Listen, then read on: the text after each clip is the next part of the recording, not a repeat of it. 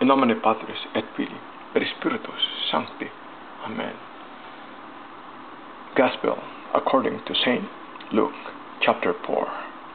Jesus went down to Capernaum, a town of Galilee.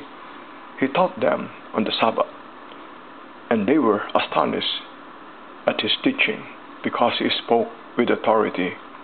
In the synagogue, there was a man with the spirit of an unclean demon and he cried out in a loud voice, What have you to do with us, Jesus of Nazareth?